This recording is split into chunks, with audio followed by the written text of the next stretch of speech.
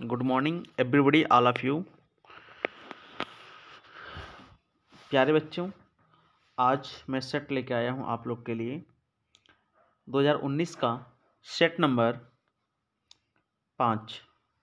Intermediate board परीक्षा, रसायन विज्ञान। केवल प्रश्न पत्र आपको यहाँ पे दिया जा रहा है, जो कह रहा है कि इस प्रश्न के प्रत्येक खंड में चार विकल्प दिए गए हैं, सही विकल्प चुनकर उसे अपनी अभ्यास पुस्तिका पर लिखिए। पहला जो प्रश्न है अनुचुमकत्व प्रदर्शित करने वाला, ठीक है, पदार्थ कौन सा है? तो ऑप्शन हो जाएगा ओ टू पहले का खाप प्रश्न कह रहा है कि निम्नलिखित में से सबसे कम वाष्प दाब वाला विलयन है। सबसे कम वाष्प दाब वाला विलयन हो जाएगा तो आंसर हो जाएगा K two S O four हो जाएगा। अगला प्रश्न है, निम्नलिखित चार रंगहीन लवणों के विलयन पृथक पृथक प्रकनलियों में रखे गए तथा प्रत्येक में तांबे की एक पट्टी डुबोई गई। तो कौन सा विलयन अंत में नीला हो जाता है? तो आंसर हो जाएगा सिल्वर नाइट्रेट। इसके बाद अगला प्रश्न है शून्य कोट की अभिक्रिया के लिए वेग नियतांक होता है। वेग नियतांक क्या होता है? Mole litre inverse second inverse होता है। तो ये आंसर हो जाएगा। जो अगले प्रश्न की बात करते हैं, एमाइडों से एथिल एमीन बनाने की विधि क्या है या अभिकर्मक क्या होता है? इसमें कौन सा अभिकर्मक प्रयुक्त होता है? बी आर टू या के ओ एस प्रयुक्त होता है। पिरीडॉक्सिन का नाम बताना है। क्या नाम है? विटामिन सिक्स का ये नाम है। विटामिन क्या? विटामिन सिक्स का इसका नाम है। चलिए ठीक है, अगले प्रश्न की बात करते हैं। प्रश्न नंबर दूसरे का का जो कह रहा है कि धात्विक सौर क्रिस्टल आकृति में घन जालक केंद्र है। सोने के दो ग्राम में इकाई सेल की अनुपस्थिति संख्या क्या है? सोने का परमाणु भार जो दिया गया है, एक सौ उन्यासी है। सोने का परमाणु भार यहाँ दिया, एक सौ उन्यासी दिया गया है। दो ग्राम सोने में परमाणु की संख्या निकालनी है तो परमाणु की संख्या हो जाएगी। सोने का द्रव्यमान बटे सोने का अणुभार गुड़े अवगाद्रो संख्या। क्या हो जाएगी? अवगाद्रो संख्या। इसके बाद यहाँ पे हम लोग रखेंगे सोने का जो दिया गया है, दो दिया गया, इनका द्रव्यमान दिया गया है, सोने का प्रमाण भार दिया गया एक सौ उन्यासी दिया अवगाद्रो संख्या हमेशा six point zero two three into ten की पावर ट्वेंटी थ्री होती जब इसको हम लोग भाग दे देंगे, इसमें इससे तो हमारा जो आंसर हो जाएगा six point seven two into ten की पावर ट्वेंटी वन आ जाएगा। ठीक है? तो दूसरे का खा नंबर जो प्रश्न की बात करते हैं, सात दशमलव पाँच ग्राम पदार्थ के पाँच ग्राम जल में घोलने पर हिमांक में कर हिमांक में एक दशमलव दो डिग्री सेल्सियस की, ठीक है, क्या हुई है? कमी हुई है। तो पदार्थ का, जो पदार्थ का अणुभार ज्ञात कीजिए, इससे पहले कह रहा है जल का मोलल औनमन स्थिरांक क्या है? तो जल का मोलल औनमन स्थिरांक है K F equal to one point एक सिक्स सिक्स डिग्री सेल्सियस है। तो यहाँ पे चलिए ठीक, हम निकालते हैं क्या है कि हिमांक में औनमन विधि से किसी अवाष्पशील विद्युत अनवघट विलय का अणुभार निकालेंगे तो यहाँ पे m बराबर हो जाएगा एक हज़ार into K F into small W upon delta F into capital W हो जाएगा। ठीक है? तो यहाँ से हम अगले प्रश्न की बात करते हैं। स्मॉल एम बराबर एक हज़ार गुड़े कर एक दशमलव आठ छः गुड़े सात दशमलव पाँच और बट्टे कर लेंगे एक दशमलव दो गुड़े यहाँ पचहत्तर हो जाएगा, भाग दे देंगे, सब कुछ कट पिट के भाग दे देंगे, आ जाएगा एक सौ पचपन, आ जाएगा। दूसरे का जो गा नंबर प्रश्न कह रहा है कि जिंक और जिंक टू प्लस आयन एक मोल में कोबाल टू प्लस आयन एक मोल कोबाल सेल का ईएमएफ ज्ञात कीजिए जबकि सेल इस सेल के लिए कह रहा है कि E not equal to zinc two plus ion zinc दे दिया तथा कोबाल टू प्लस आयन स्लैट्स कोबाल दे दिया। के के लिए मानक, यानी अपचयन विभव जो क्रमशः दिया गया है zero point seven six volt और प्लस टू पॉइंट एक ग्राम बोल्ट है। तो इसकी सांद्रता एक मोलर है। तो यहाँ पे सिंपल सा ऐसे भी प्रश्न मैंने कई बार करवा चुका हूँ। हमने कहा E anode minus E cathode रखो और यहाँ पे माइनस वाली वैल्यू पीछे रखो माइनस खुलेगा तो प्लस हो जाएगा ये। माइनस प्लस हो जाएगा तुम जब जोड़ देंगे तो one point zero four volt answer आ जाएगा। ठीक ये हमारा आंसर हो गया। हम अगले प्रश्न पर चलते हैं कि कह रहा है कि ब्राउनी गत क्या है? इसका कारण तथा इसको प्रभावित करने वाले दो प्रमुख कारक भी लिखिए। यानी ब्राउनी गत क्या है? इसका ठीक कारण तथा इसको प्रभावित करने वाले दो प्रमुख कारक भी लिखना है। तो ब्राउनी गत क्या है? तो मैं इसके बारे में बात करता हूँ कि ब्राउनी गत क्या है। सर्वप्रथम रॉबर्ट ब्राउन ने, सर्वप्रथम रॉबर्ट ब्राउन ने अति सूक्ष्मदर्शी द्वारा कोलाइडी बिलियनों का, ठीक है, कोलाइडी जो बिलियन का कह रहा है कि सूत्र मैंने बहुत अच्छे से, बहुत बारीकी से उनका अध्ययन किया और पाया कि कोलाइडी बिलियन में कोलाइडी का निरंतर क्या आसमान ठीक है आसमान गति गत, कह रहा है कि आसमान गत करते रहते हैं जिसे उनके नाम पर ब्राउनी गति कहा गया। देखिए इसकी शॉर्ट परिभाषा क्या है? कोलाइडी कणों द्वारा कोलाइडी बिलियन से आसमान गत को ब्राउनी गत कहते हैं जो ब्राउनी गत का यहाँ फिगर बनाया गया है। इसके बाद हम आपको बताते हैं कि ब्राउनी गति के कारण क्या क्या हैं ब्राउनी गति के क्या क्या कारण हैं। कोलाइडी बिलियन में कोलाइडी कणों का आकार बहुत बड़ा होता है। क्या बता रहा है कि कोलाइडी बिलियन में कोलाइडी कणों का आकार बहुत क्या होता है? बड़ा होता है। जिसके कारण माध्यम के कण निरंतर कोलाइडी कणों पर क्या बमबारी करते हैं? जिसके कारण कोलाइडी कणों पर गति क्या होती, उत्पन्न होती है। गति क्या होती है? गति इनकी उत्पन्न होती है। अगले प्रश्न की बात करते हैं हम लोग। कोलाइडी कणों का आकार बढ़ने के साथ ब्राउनी गति का मान कम हो जाता है और निलंबन में पूरी तरह समाप्त हो जाता है।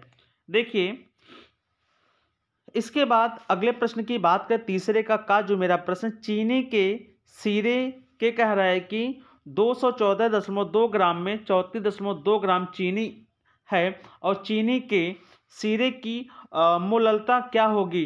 तो यहाँ पे चीनी का बताया गया, सी बारह, एच वन और ओ का सोलह होता है। इनकी प्रमाण भार बताया जा रहा है। अब चीनी के सीरे के लिए आ गया तो हो जाएगा दो सौ चौदह दशमलव दो में घुली चीनी की मात्रा बतानी है चौंतीस दशमलव दो हो गया। तो इनकी हम मोललता निकालेंगे। जब इनकी हम मोललता निकालेंगे तो इनको हम क्या कर देंगे?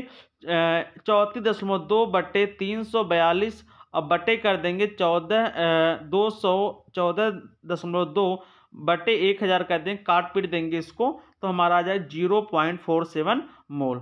ठीक है, हमारा आंसर हो जाएगा। अगले प्रश्न की बात करते हैं कि प्राथमिक सेल क्या होते हैं? क्या प्राथमिक सेल क्या होते हैं? और शुष्क सेल का यहाँ पे व्याख्या करना है, जो प्राथमिक सेल क्या होता है? प्राथमिक सेलों में इलेक्ट्रोड अभिक्रिया केवल एक बार ही होती, यानी कह रहा प्राथमिक सेलों में इलेक्ट्रोड अभिक्रिया केवल एक बार होती है और कुछ समय बाद सेल क्या होते हैं? मृत हो जाते हैं। अर्थात सेल को पुनः आवेशित नहीं किया जा सकता है। तो ये बताया जा रहा है, ठीक है? और देखिए सुस्त सेल में बताया जा रहा है, यह सबसे अधिक प्रयोग किए जाने वाला क्या है? प्राथ यह सबसे अधिक प्रयोग किए जाने वाला प्राथमिक व्यापारिक सेल है। एक सामान्य जो शुष्क सेल को कैरक चित्र के माध्यम से दर्शाया गया है, नीचे फिगर अभी दिखा रहे दर्शाया गया है। इसमें जिंक धातु से बना एक पात्र होता है, जो एनोड का कार्य करता है और इसमें कह रहे एम एन ओ टू या कार्बन चूड़ में घिरी हुई एक ग्रेफाइट क्षण कैथोड का कार्य करती है। जिंक पात्र तथा ग्रेफाइट छड़ के मध्य को ज़रूरी स्थान होते हैं, वो मैग्नीशियम मैग्नीज क्लोराइड और जिंक क्लोराइड एक कह रहा है कि नम प्लेट से क्या पूरा मतलब भरा होता है, पेस्ट से क्या भरा होता है और आगे कह रहा है कि जिंक पात्र के चारों ओर गत्ते का आवरण क्या होता है, चढ़ा रहता है और सेल के ऊपरी जो सिरा होता है, उस, उसमें कह रहा है कि मोम या चिप से सील कर दिया जाता है। पिस से सील कर दिया काला आप देखोगे, सील कर दिया ताकि इसका पेस्ट बाहर ना आए। ठीक है? इस सेल में जटिल रासायनिक अपक्रिया होती है। इन अपक्रिया को सरल रूप से, निम्न प्रकार से प्रदर्शित किया जाता है। अब ये कह रहा है कि एनोड। एनोड पे यहाँ पे बताया, यहाँ पे टू इलेक्ट्रॉन, यहाँ पे देखो, जिंक और एरो कर दिया, यहाँ टू प्लस आयन, कैथोड पे M N O two plus four N H का फोर वन प्लस आयन, यहाँ पे दिखाया गया एम एन हो गया और एच और यहाँ पे एन एच थ्री हो गया। ठीक है? अब इसकी क्रिया विधि बतानी है। देखिए, यहाँ पे सबसे पहले ये क्या, एक जिंक का क्या लिया गया? एक जिंक का पात लिया गया, ठीक है? और इसमें कह रहा है कि यहाँ पर, ठीक है, ये देखो जो आप दिख रहा है ना ग्रेफाइट की छड़ लगाई। किसकी छड़? ग्रेफाइट की छड़ लगाई गई। और इसमें कह रहा है जिंक ये एनोड का कार्य कर रहा है, ये कैथोड का कार्य कर रहा है, जो जो जिंक है, एनोड का कार्य कर रहा है, ये क्या कैथोड का कार्य कर रहा है? और इसमें कह रहा है कि जो चूड़ भरा गया है, ये क्या, मैग्नीज को मैग्नीज कोलाइड और जिंक कोलाइड का चूड़ इसमें भर दिया गया, ठीक है? यही हमारे क्या यहाँ देखो, ये जो फिगर दे, मैग्नीज कोलाइड और इसके बाद या मैग्नीशियम कोलाइड और जिंक कोलाइड का चूड़ यहाँ पे पेस्ट भर दिया गया, ठीक है? अब इसी का जो प्रश्न कह रहा है कि निम्न पर संक्षिप्त हम लोग को क्या दें? टिप्पणी दे, करना है, ठीक है? पहला, हार्डी सुलझे नियम क्या है? इस नियम के अनुसार, हार्डी सुलझे नियम क्या कहता है? इस नियम के अनुसार किसी अस्कंदित आयन की अस्कंदन अस्कंदन क्षमता उस पर उपस्थित आवेश के समानुपाती होती है। अर्थात जिस आयन पर जितना अधिक आवेश उपस्थित होता है, उसकी अस्कंदन क्षमता का मान उतना ही क्या होता है? अधिक होता है। नेक्स्ट है धनात्मक कोलाइड के लिए। देखिए, धनात्मक कोलाइड के लिए क्या होता है? एफिसियन सिक्स फोर आयन, ये सबसे क्या होता है? बेस्ट होता है, ठीक है?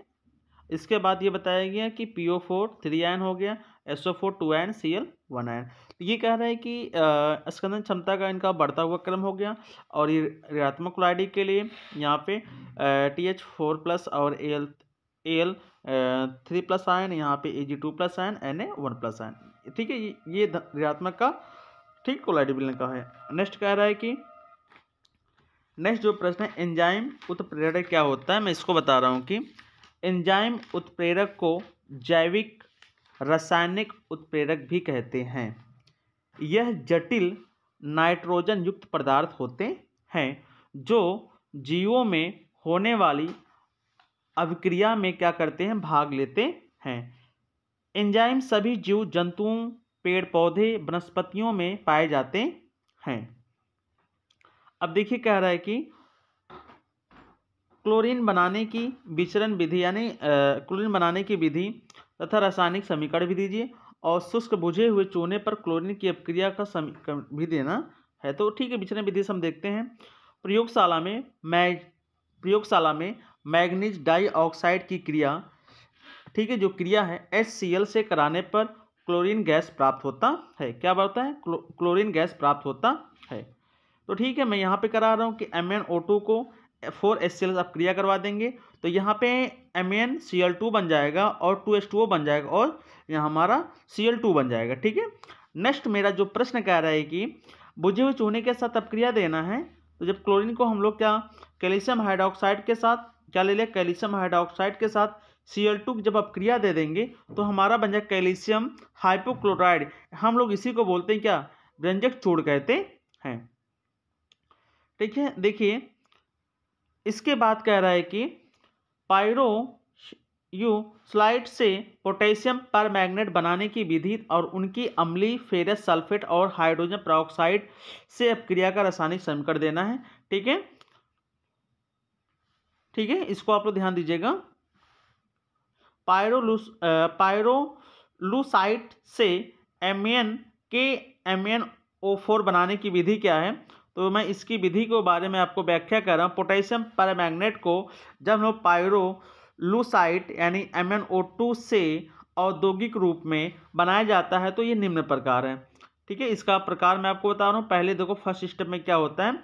ये कह रहा है कि पायरो लूसाइट से पोटेशियम मैग्नेट, ठीक है, पायरोलूसाइट के बारीक चूड़ को के ओ एच या के टू सी ओ थ्री के साथ वायुमंडल में विद्यमान ऑक्सीजन या ऑक्सीकारक के थ्री या के सी एल ओ थ्री की उपस्थिति में, ठीक है क्या संकलित करने पर यह अपक्रिया पोटेशियम मैग्नेट प्राप्त हो जाता है। ठीक है, अगला देखिए जो प्रश्न हमारा है, यहाँ पे two two M N O two को four K four K O H और ओ टू के साथ जब अपक्रिया करवा देंगे K two M N O four को टू एस टू ओ प्राप्त हो जाएगा। M N O two plus two K two C O three और ओ टू के साथ क्रिया करवा देंगे तो two K two M N O four और सी ओ टू मिल जाएगा। अगले प्रश्न की बात करते हैं। यहाँ पर एम एन ओ टू के M N O two plus six K O H और K C L O three के साथ जब इसको हीट कर देंगे तो K two M N O four और के सी एल और थ्री एच टू ओ बन जाएगा। ठीक है, अगले प्रश्न की बात करते हैं कि पोटेशियम मैग्नेट से पोटेशियम पर मैग्नेट कैसे बनाएँगे? तो उपयुक्त पद से प्राप्त जो हरे रंग के पदार्थ एंड पोटेशियम मैग्नेट की जल से निष्कर्षित करते हैं, यह निष्कर्ष का निम्न, यानी विधियों से हम एक विधि द्वारा हम लोग ऑक्सीकरण कराते हैं, ठीक है? तो अगले प्रश्न की हम बात करते हैं, यहाँ पे वैद्युत अपघटनी वैद्युत अपघटनी ऑक्सीकरण विधि क्या होता है? पोटेशियम मैग्नेट, यानी K M N O four का, बिलियन का, कह रहा है कि आयन इलेक्ट्रोड के साथ विद्युत ऑक्सीकरण करने पर, एनोड पर ऑक्सीजन मुक्त होता है, ठीक है? इसका जो ऑक्सीकरण करके, ठीक है? पर मैग्नेट में क्या हम लोग करते, परिवर्तित कर देते हैं। तो K M N O four को एस टू ओ और इनका हम क्या ऑक्सीकरण करवा देंगे तो हमारा बन जाएगा K M N O O four और हमारा के ओ एच मिल जाएगा, ठीक है? अगले प्रश्न की बात करते हैं, इनका जो रासायनिक समीकरण है, यानी पोटेशियम मैग्नेट का जो विलयन होता है, इनका ऑक्सीकरण कार्बन और डाइऑक्साइड, ओजोन या क्लोरीन गैस प्रवाहित करके भी किया जा सकता है। अगले प्रश्न की बात करते हैं K two M N O four को two C O two arrow two K M N O four को two two K two C O three और एम एन ओ टू के साथ। यानी अब नेक्स्ट इसी कह रहा है कि हम लोग two K two M N O four को ओजोन हो गया और जल हो गया, इसके साथ अब क्रिया करवा देंगे तो two K M N O four मिल जाएगा और टू के ओ एच मिल जाएगा और एच टू ओ मिल जाएगा। इसी को नेक्स्ट स्टेप इसी का है। यहाँ पे two K two K two M N O four को सी एल टू के साथ अब क्रिया करवा देंगे two K M N O four और टू के सी एल प्राप्त हो जाता है। इसी कारण इसी प्रकार प्राप्त जो के एम एन ओ फोर ठीक है, बैगनी रंग के बिलियन का क्रिस्टलीकृत करके हम लोग K M N O four billion प्राप्त किया जाता है। और देखिए, इनका जो रासायनिक समीकरण है, इनका अम्ली फेरस सल्फेट के साथ तो हम लोग जब जब इनका आप क्रिया करवा देंगे तो K two S O four और plus two M N S O four और five F E two S O four का थ्राइस मिल जाएगा। अगले प्रश्न की हम बात करते हैं। अगले प्रश्न की बात करते हैं, हाइड्रोजन परऑक्साइड से अपक्रिया देना है। Two K M N O four को three three H two S O four और five H two O two के साथ क्रिया दे देंगे तो मिल जाएगा K two S O four मिल जाएगा। Two M N S O four प्राप्त हो गया एट एच टू ओ मिल गया और फाइव ओ टू मिल गया। ठीक है? अगले इसी का कह रहा है कि नेक्स्ट है, हम लोग जो क्रिया करवाएँगे के एन ओ टू से के साथ अब क्रिया करवा लेंगे इसका हम लोग। तो यहाँ हो जाएगा two K N O four को three S two S O four के साथ फाइव के एन ओ टू के साथ। तो यहाँ पे जो मिल जाएगा K two S O four मिल जाएगा two M N S O four मिल जाएगा और फाइव के एन ओ थ्री मिल जाएगा और थ्री एस टू ओ हम लोग का क्या होगा, प्राप्त हो जाएगा। इसके बाद जो प्रश्न कह रहा है कि Hofmann Hofmann bromide अपक्रिया द्वारा एनिलीन बनाने का रासायनिक समीकरण लिखे तथा एनिलीन की स्टील क्लोराइड और कार्बन डाइऑक्साइड के साथ होने वाली रासायनिक समीकरण भी देना है। क्या देना? रासायनिक समीकरण भी हम लोग को देना है, ठीक है? तो इसका रासायनिक समीकरण भी देना है। तो यहाँ पे पहला कह रहा है कि हाफ़ मैन ब्रोमाइड अपक्रिया क्या होती है? जब एमाइड की अपक्रिया ब्रोमीन तथा प्रबल क्षार जैसे के एन और के आदि के साथ कराई जाती है तो प्राथमिक एमीन उत्पाद के रूप में प्राप्त होता है। इस अपक्रिया में एमाइड समूह से सीओ समूह उत्पाद में क्या होता है? कम हो जाता है। इसीलिए इसे हाफ़ मैन ब्रोमाइड निम्नीकरण अपक्रिया भी कहते हैं। ठीक है? यहाँ पे जो रिएक्शन बताया गया C six H five C O N H two के साथ हम लोग बी आर टू और फोर के ओ एच के साथ अब क्रिया करवा देंगे। तो C six H five N H two plus two K B R plus K two S O three plus two S two प्राप्त हो जाएगा। अगले प्रश्न की बात करते हैं हम लोग। एनिलीन की, जब एनिलीन की एसिटिलीन कोलाइड के साथ अब क्रिया करवाते, ये हमने ले लिया, एनिलीन ले लिया, एसिटिल कोलाइड ले लिया, जब यहाँ पे पीरीडीन की उपस्थिति में जब इसकी अब क्रिया करवा देंगे तो N S C O C S three plus और यहाँ पे सह उत्पाद हमारा ये मिल जाए, ये सह उत्पाद एस सी एल मिल जाएगा। अगला जो प्रश्न कह रहा है कि एनिलीन की कार्बन डाई सल्फाइड के साथ हम लोग को अब क्रिया देना है तो ये हमारा एनिलीन हो गया। ठीक है? कार्बन डाइसल्फाइड सब क्रिया दे देंगे तो यहाँ पे हमारा डाइफेनिल ठीक है? तो यहाँ पे ट्राई तो हम लोग को ये पूरा प्राप्त हो जाएगा। प्रश्न नंबर पाँच का का की बात करते हैं कि अभिक्रिया की आणविकता और कोट को प्रभाषित कीजिए। प्रथम कोट की अभिक्रिया कह रहा है कि 40 सेकंड में पदार्थ की सांद्रता की आधी रह जाती है तो अपक्रिया के वेग स्थिरांक की गणना करना है। ठीक है? अपक्रिया के वेग स्थिरांक की गणना करना है।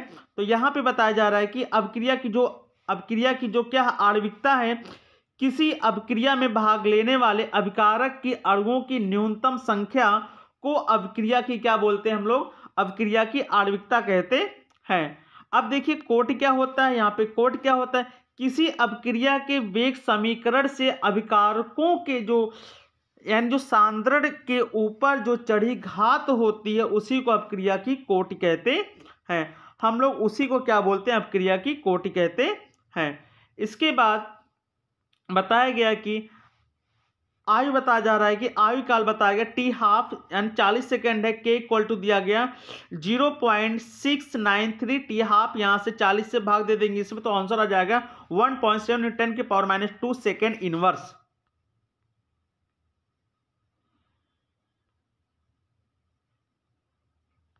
अगला प्रश्न है, संयोजकता आबंध सिद्धांत किस संक्षेप में व्याख्या कीजिए तथा निम्नलिखित यौगिक के आयुपीएसी नेम भी आपको लिखना है।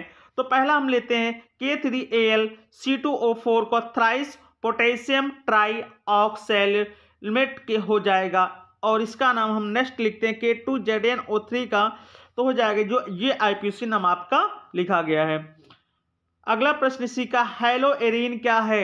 इनकी दो प्रमुख प्रतिस्थापना क्रिया लिखिए। और फ्रेयान का सूत्र और इसका उपयोग भी लिखना है। तो ठीक है मैं बच्चों बता रहा हूँ कि हेलो एरीन क्या होता है?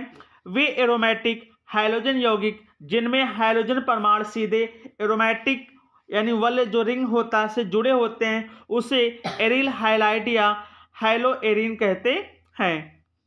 इसके बाद यहाँ पे हम लोग नाइट्रिकरण करवा देंगे यहाँ पर जो आ, ब्रोमो ठीक है यहाँ पे जब C C S five B R के साथ अब क्रिया करवा देंगे तो यहाँ पे हमारा हो जाएगा आर्थो ब्रोमो नाइट्रोबेंजीन बन जाएगा। क्रोरल के साथ अब क्रिया दे देंगे C C H five C L के साथ और यहाँ पे सी सी एल थ्री और सी एच ओ के साथ क्रिया दे देंगे तो हमारे यहाँ पे डी डी टी बन जाएगा जो कि मैंने अगले रिएक्शन में बताया है। और इसका उपयोग क्या है? फ्रेयांटोल का उपयोग, ठीक है? फ्रीजर में एक कह रहा है कि प्रशीतक के रूप में तथा एरोसाल और कह, एरोसाल के निर्माण में इसका उपयोग किया जाता है। अगला प्रश्न फार्मेडिहाइड एवं मेथिल एसिटेट से मेथिल एल्कोहल के विचरण की विधि लिखिए। मेथिल एल्कोहल की ग्रीनाकर्मक और ऑक्सेलिक अम्ल से अपक्रिया के रासायनिक समीकरण लिखिए और इनके प्रमुख उपयोग भी लिखिए।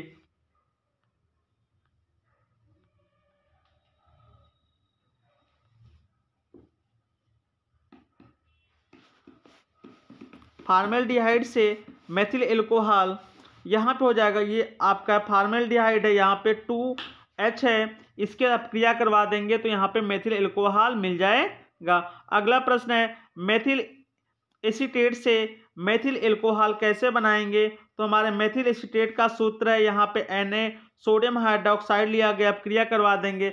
मेथिल एल्कोहल और सोडियम एसिटेट बन जाएगा। अगला प्रश्न है इसी का मेथिल एल्कोहल की क्रिया नाड़ अभिकर्मक के साथ तो यह हमारा हो गया मेथिल एल्कोहल ठीक है? C S three M G B R के साथ ईथर की, शुष्क ईथर के ऊपर सब क्रिया करवा देंगे। तो यहाँ पे मेथेन हमारा प्राप्त हो जाएगा। अगला प्रश्न है मेथिल एल्कोहल की ऑक्सेलिक अम्ल के साथ हम लोग को क्या देना है? अभिक्रिया देना है।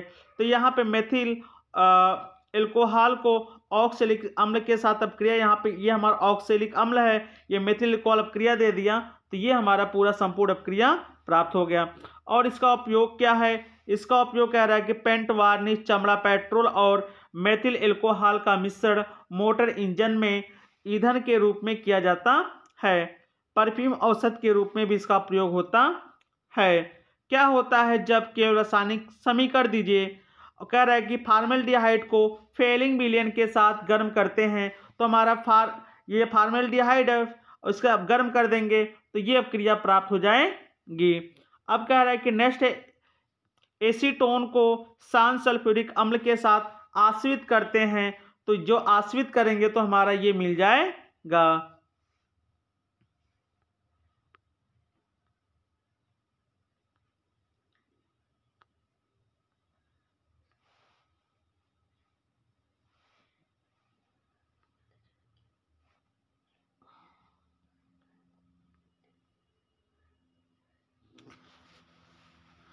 इसके बाद फार्मेल्डिहाइड की क्रिया C H three M G B R से कराई जाती है, ठीक है? जब इससे कराई जाएगी तो क्या प्राप्त होगा? ये हम लोग को बताना, अब गठन करवा देंगे यहाँ पे, फार्मेल्डिहाइड ले लेंगे C H three M G B R ले लेंगे, इसके बाद इसके साथ करवा देंगे तो हमारा ये स्टेप प्राप्त हो जाएगा। अगला कह रहे एसिटिक अम्ल को पी सी एल फाइव के साथ करवाएँ। जब एसिटिक अम्ल को जब एसिटिक अम्ल को पी सी एल फाइव के साथ और पी सी एल अपक्रिया करवा देंगे तो यहाँ से मिल जाएगा C S three C O C L मिल जाएगा और एच सी एल मिल जाएगा P O C L three मिल जाएगा। अब बेंजल्डिहाइड की सांस सांद्र एन एस से अपक्रिया करवा देंगे तो हमारा C six H five C H O मिल जाएगा और एन ए ओ एच मिल जाएगा और अगला कह रहे C C H five C O O N A मिल जाएगा सी सी एच फाइव और यहाँ पे हम लोग को O H C H two O H मिल जाएगा। अगला प्रश्न है, कैसे प्राप्त करेंगे? तो ये देखो, बहुत बार प्रश्न फार्मिक अम्ल से ऑक्सीलिक अम्ल, ये आप देख लीजिए कैसे प्राप्त करेंगे। हमने बहुत बार इसको पढ़ा दिया है, इसलिए मैं इसको क्वेश्चन को दिखा रहा हूँ। एसिडिक अम्ल से एथिल कैसे प्राप्त करें, इसको भी आप देख लीजिए। एसिटल्डिहाइड से कैसे प्राप्त करेंगे, इसको भी देख लीजिए।